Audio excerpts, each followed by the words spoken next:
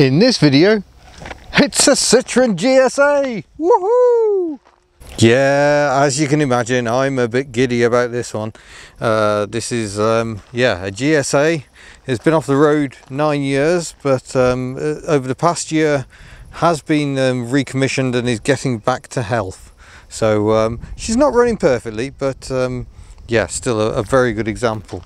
Um, I probably should have asked more details about which spec it is um, in terms of engine, but it's got a five-speed gearbox, so I'm going to guess it's a 1.3. Although as it's a special, maybe it isn't.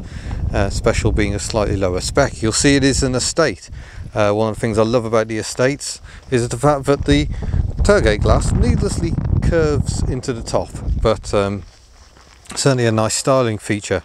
Rear lights very similar to the GSA, uh, sorry, the GS before it. Very early GSs had what was called cathedral rear lights.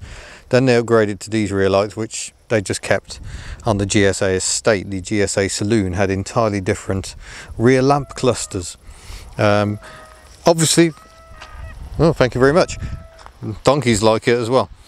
Obviously, um, there's um, hydro pneumatic suspension going on here and brakes, but not power steering. Uh, the steering is entirely manual, but um, yeah, lots of soft, soft hydraulic suspension and um, yeah, independent on each corner. We've got inboard disc brakes, air-cooled flat four boxer engine, and um, yeah, an amazing amount of comfort in a small car. It's one very noisy donkey. I think it's a donkey. Um, but um, yeah, let's take a, more of a look around, shall we? Uh, you do, like the 2CVs, get a grill muff that you can put on the front to blank off the airflow to keep the engine nice and warm in winter. I quite like the way the mirror just sticks up on this weird appendage. Stein has fitted um, uh, these aero blades, which now I, I, was struggling to forgive, to be honest. International Amsterdam, um, even on the rear but um, needs must and they do work. And getting increasingly hard to find the um, correct type wiper blades, I must admit. Um, so um, let's take a peek aboard because the madness truly begins inside. I mean, we've got lovely blue vinyl, some slightly faded blue plastic there. But yeah, check out this. This is the um, insanity of a GSA dashboard. Um, oh dear, the sandals are in shot. Quick, remove them. Um, so as you can see, it's just bonkers. The speedometer rotates, so the needle is fixed and the speedo is on a dial, so it goes round as you speed up. Some models had a similar rev counter, um, but um, no, we just get a clock because this is a special. And special on a GSA means bottom of the range. Uh, we've got a little fuel tank there, we've got a little eye. I wonder what the eye does. Um, but mostly it's all about the satellite controls. So um, I'll quickly take you through them. The indicators are on the side here and don't self-cancel. It's pretty much similar to the um, CX, but um, if anything, even more um, controlled. And uh, rotate the bottom, and that's lights. And uh, I think that's, yeah, that's your main beam on the bottom. And wipers are up the top and that's your screen wash on top. And actually we'll do demonstrations of all these things a bit later on. Um, but yeah you got some of these light up as well. So the indicator one lights up if I apply some ignition. And that brings that display into life. And um,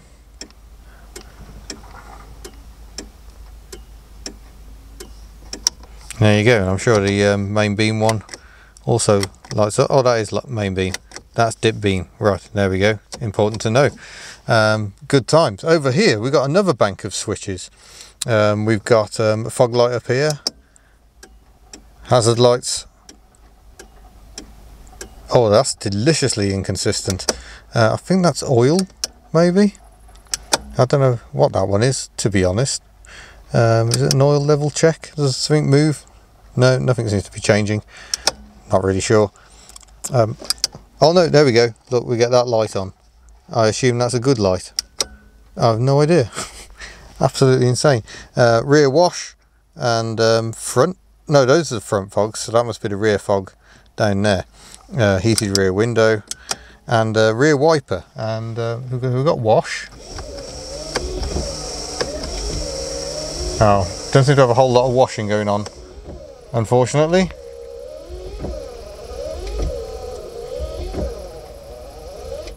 There we go. Um, earlier, the rear wiper failed to park when um, I pressed the button. So you press the button in and then turn the button off. Oh, and it is now behaving. It, it, ju it just went French. Um, heater controls are over here. Uh, we got the man in his hat, uh, which you'll you'll see that exact same logo in a Citroen C15. Uh, bring you in for a closer look. And we've got the cowboy boots down the bottom. Let's move that up. Yep, hidden down there where you can barely see it. There's your shoes. Um, so yeah, I want cool to the face. Uh, that's the fan speed selector. Oh yeah, there we go. Actually makes some noise. Despite being air cooled, it has actually got fan assist on that, and then you can have hot or cold. And little glove box. Oh, that's that's that's a bit Fisher Price, isn't it? Uh, or maybe even Kinder Surprise. That's um, oh dear. I might leave that down actually. Um, that might be a good idea. Five speed gearbox, five on the floor. Um, fairly conventional. It's not Citroen's best ever effort at a gear change. It's very mechanical. Um, the cassette player is down here where you can fill the cassette deck with crumbs. And we've also got the height lever. Only three height positions. Normal, raised for a bit of off-road action, and then the full service mode. Um, I'm not sure how you um, let all the pressure out to slam it, yo. Um, it looks like you can't, basically. A uh, little cubby back here, but you know, I'll just clear my clutter out of the way. Really, really nice seats, and um, looks like something out of the future. And very light and airy. Lovely perforated vinyl up here. Does the interior light work? No, no, because French. Um, okay, but yeah, you got this multifunction display going on here. Uh, excuse my fingers. Um, so that's the hydraulics. Um, if it's low on hydraulic pressure, that light comes on. Of course, it's low. The engine's off. Um, we've got a battery warning there, and um, oil pressure, which you can follow all the way along to here. Insane. Petrol. If that's low, then that starts flashing. The choke will flash if the choke is on, and uh, if the engine's running, there we go. That's now flashing just to really remind you um, some other level maybe oil level let's trace it and see where it goes. It, it, it's just wacky. I, I like it. It's um, yeah ridiculous. Speakers tacked onto the side of the dashboard here. Here in the back it's um, lovely. I actually went ah as I settled into this super soft rear bench. Um, a good amount of leg room behind me as a driver. I'd say that's impressive enough. Can't really get my feet underneath though you'll see there's a sort of a cross member there. So can't really tuck the feet in too much but nonetheless it's comfortable enough. There's a good amount of headroom. I wonder if there's more in the estate than the um, hatch. Oh interesting. And slightly random holes with um, insulation sticking through. We'll just gently coax that back. There we go. That's fine. Um, just in case you hadn't seen what I'm looking at uh, will it focus Whoa, extreme close up. Um, yeah, so that's what's going on there. Oh yeah, something else I should point out is that the choke and the um, ignition barrel are kind of hidden all the way down here. Probably shouldn't leave the choke, uh, the um, ignition on on the coil. And um, yep, pedals with chevrons on, just like in a 2CV. Very similar pedal layout. Excellent for heel and towing. Um, is that bonnet releases? Yeah. next question is, oh, there's a bit of wire up there Oh yeah, that would appear to be it. Felt like a coat hanger. Uh, it's, it's, amazing how Citroens are so brilliantly engineered in some ways and so terribly engineered in others. Like, like where, where's the catch? I probably have to press the grill six times and call it Nigel or something. No, there's another bit of bent wire here. There we go. And there we go. There is the well no I won't say there is the flat 4 engine. You mostly can't see it. Um, dominated by air filter over here. Wheel motor. That'll be your engine oil. You can just see one of the um, tappet covers there and the other one is beneath. Um, so you can imagine these engines are fun to work on. I say tappet it's an overhead cam engine. In fact we can just see the cam belt peeking out there. Um, so it's a very long belt because it has to go all the way around that one back to the middle and out over the other bank so um, yeah, it's um, busy old times. You see the inlets there and the exhaust comes down the bottom. So they are cross flow engines. Um, yeah, wow. So um, yeah, you can't really see a lot. There's an oil cooler just peeking out there. Twin choke Solex carburettor, just like on a 2CV. Distributor tucked away down the back here.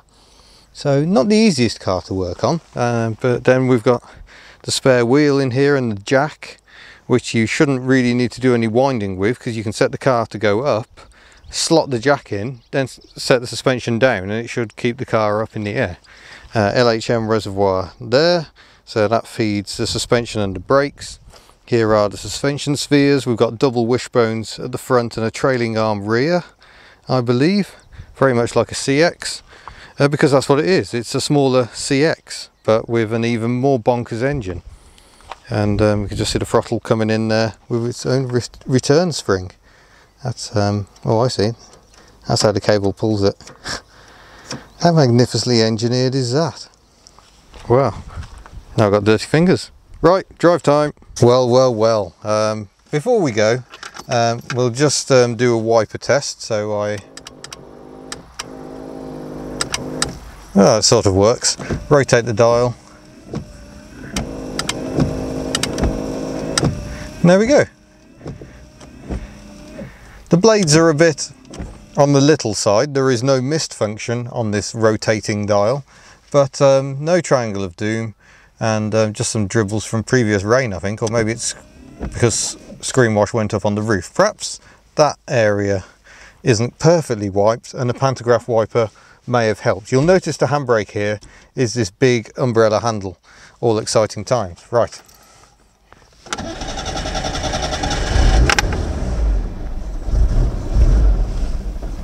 Oh, she's a bit cold, I think. Let's give her a bit more choke.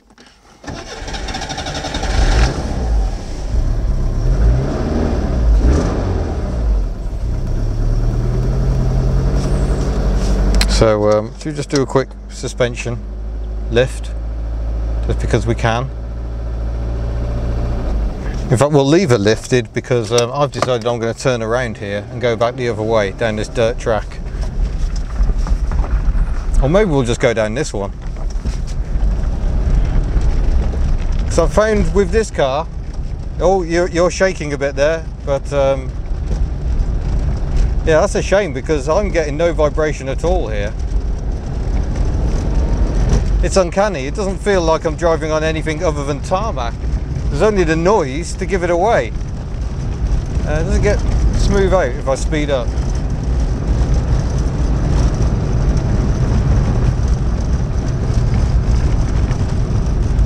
But yeah, uncanny. Uh, I'm going to drop the suspension back to normal height. It's um, yeah, it's just bafflingly smooth. Uh, but obviously, it's vibrating that door quite a bit. I now have no idea where this track's going to come out, so this will be fun times.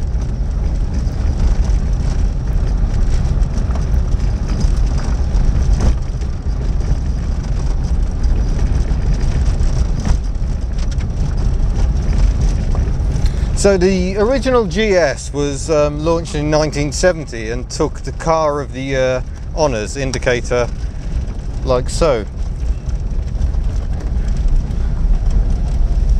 Let's check it all is clear.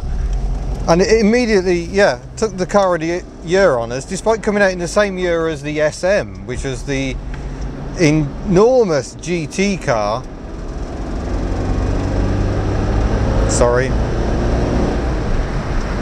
um, with the Maserati V6 engine. But I, I, guess for the everyday family man, the GSA made a lot more sense.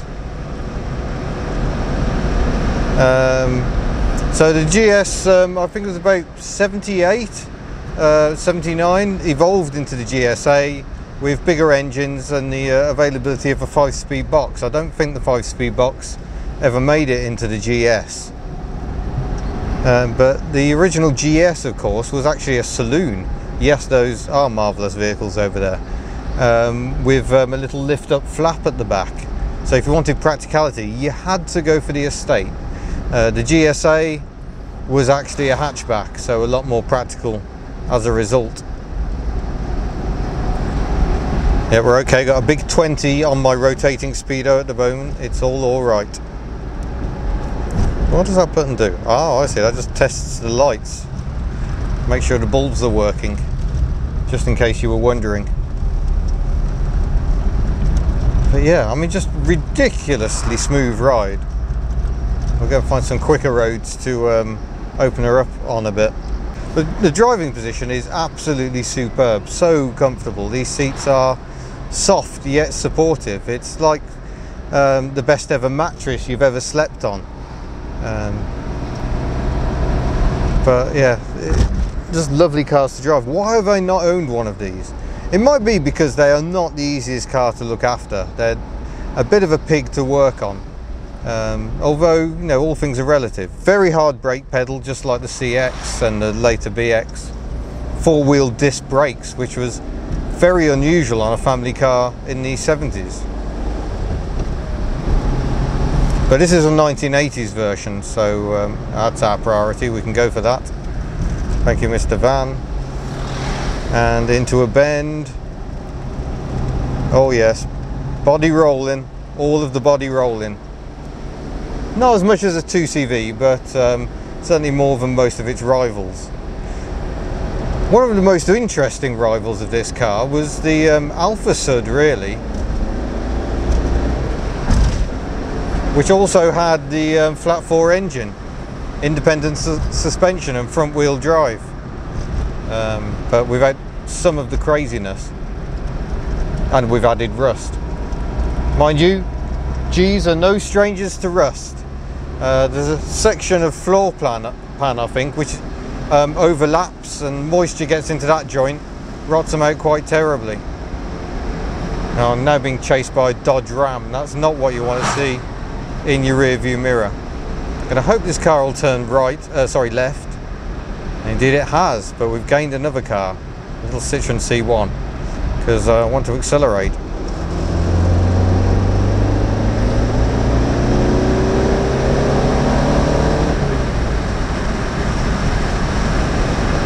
Yeah, it's a sweet, sweet little engine. Uh, like I say, I'm afraid I'm not entirely certain of the size. Uh, I think they did a 1.2 as well as a 1.3 of this um, later engine. But um, yeah, all, all, the power you need for the Netherlands, certainly. Uh, you'd have to work it a bit harder on the streets of Wales, I believe. 30 kilometers an hour. Oh.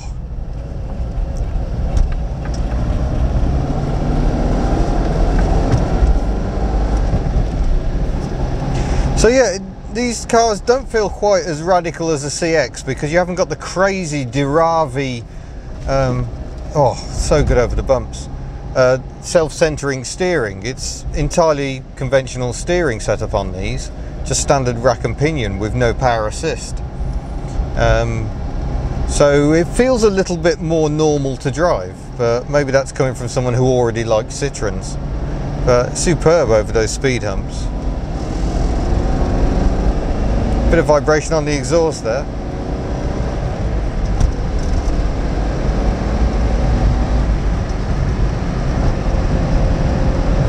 Ultimately, certainly for British tastes, these cars were just too wacky. Indeed, the previous GS um, didn't have a wacky dashboard in the UK market. It had conventional round dials that looked like they'd been stolen from a kit car. Because British buyers were just like, no, no, no, no, this is too wacky. By the time of the GSA, the French went, well, you'll either buy it or you won't kind of realizing that it's not just the speedometer that's wacky, the entire car is.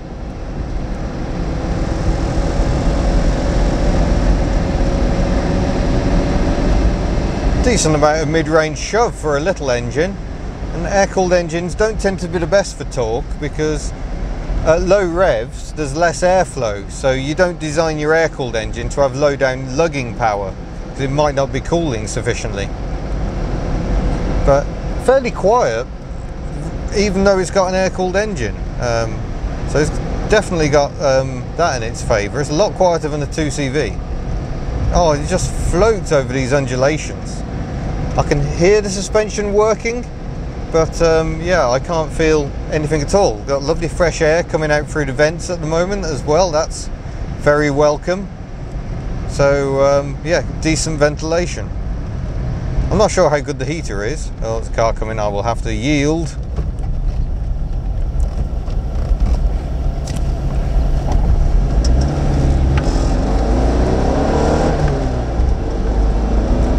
They were pushing their luck.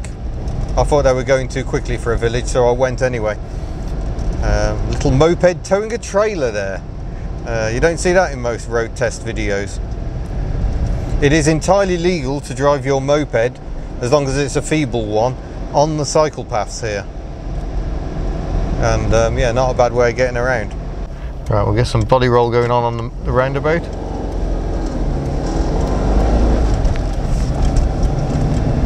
Oh, yes.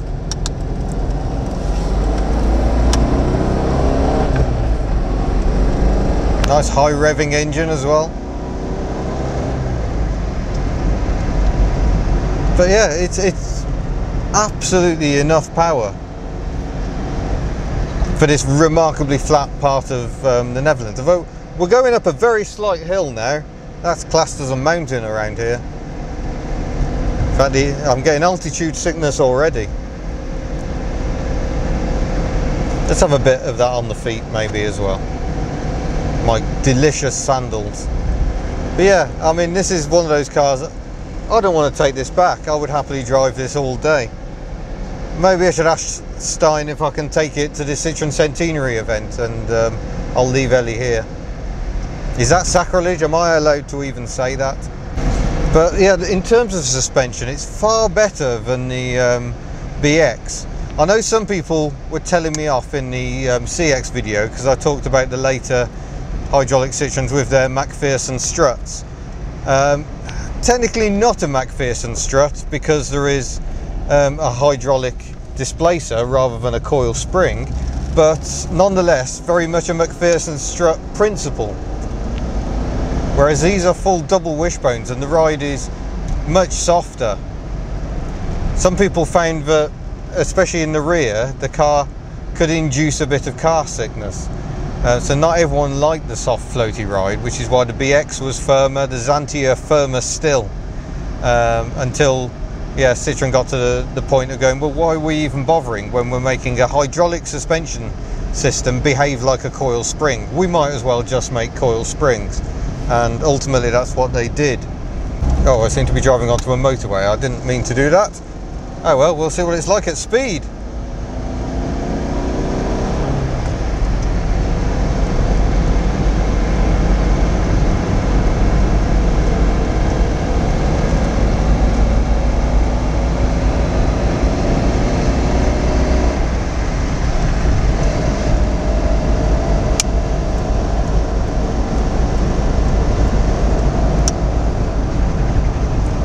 Darn good, I'd say.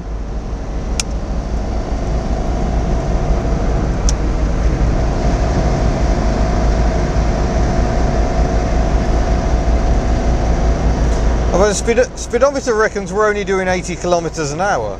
Not even that. And uh, I can't, can't help thinking we're doing a lot more. But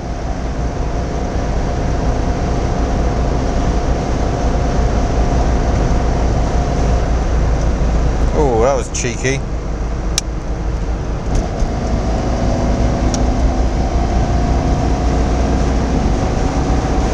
There's absolutely no need for them to do that lane change at all.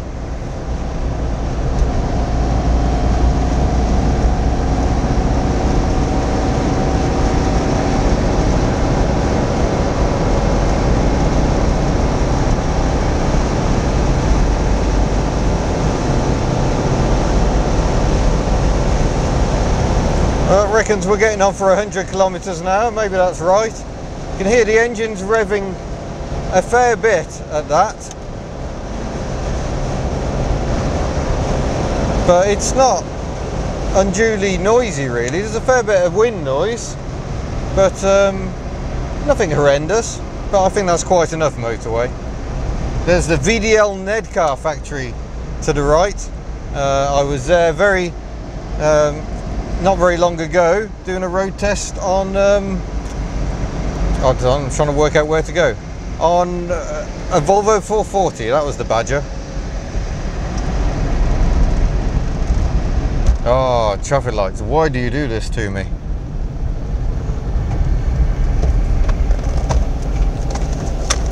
On with the handbrake.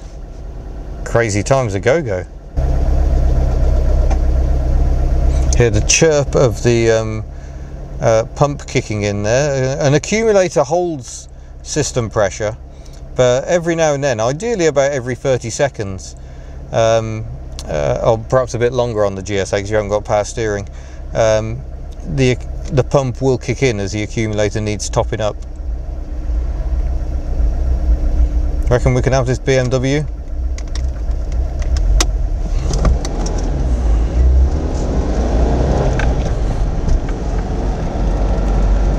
Got further to travel, that's not fair.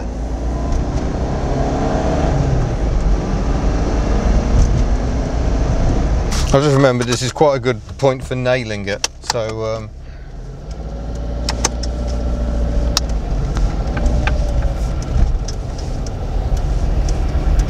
we'll let that um, Toyota Yaris thing, Aygo even, get away first of all.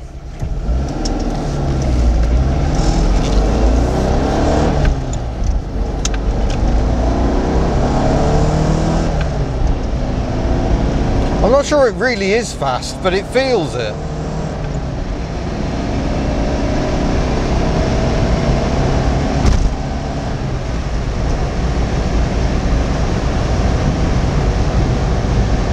But it's so, so smooth and um, just check we've got no one behind us and uh, we'll wait till there's no one coming the other way so we don't cause undue alarm. Um, but um, yeah, we'll just wait for that silver car to come past and I'll do a brake test to show you how good the brakes are because they are um, quite impressive. Are you holding on? Yeah, that's um, most cars from the 1970s don't do that.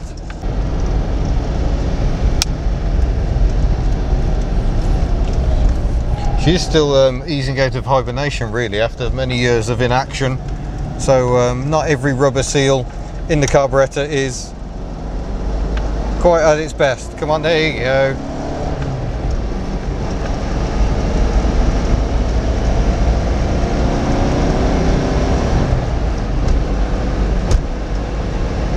Oh yeah, she's stumbling a bit now.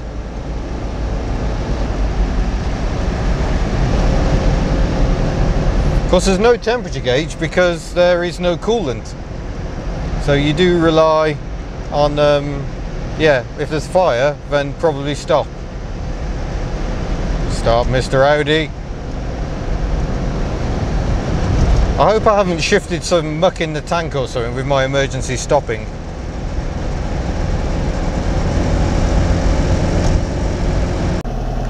Just move the camera so you can actually get a view of the crazy rotating speedo. Um, I'll have to drive one-handed for a bit or I'll keep this hand on the bottom or I'm going to be getting in the way.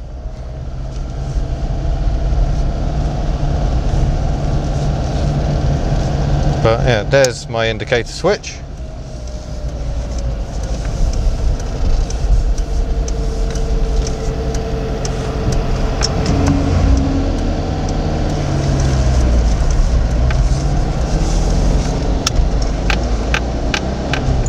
Really do think I've dislodged some muck.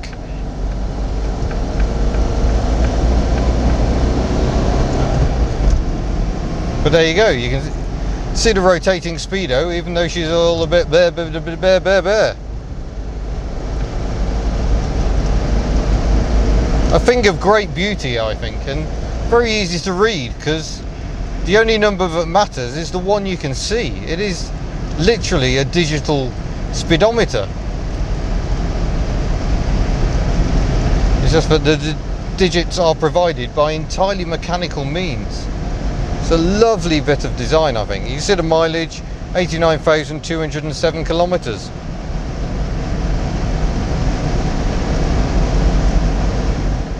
So there we go. That was the Citroen GSA. Just a remarkable car. I think we are so lucky that Citroen went out of its way to do things so very, very differently. Um, not for Citroen convention. Oh no, Citroen chose a different path. And I'm so glad they did. It's just so interesting. Modern Citroens aren't like this.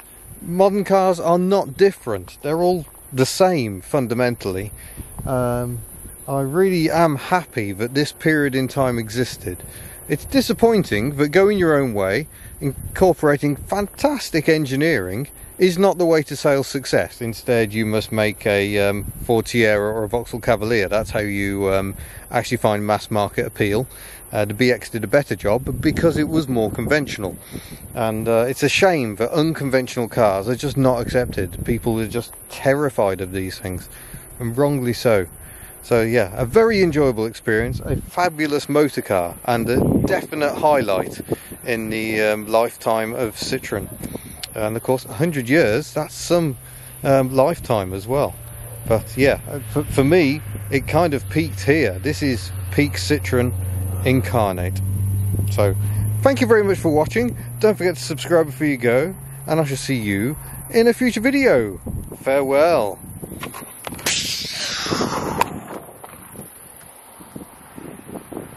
Special.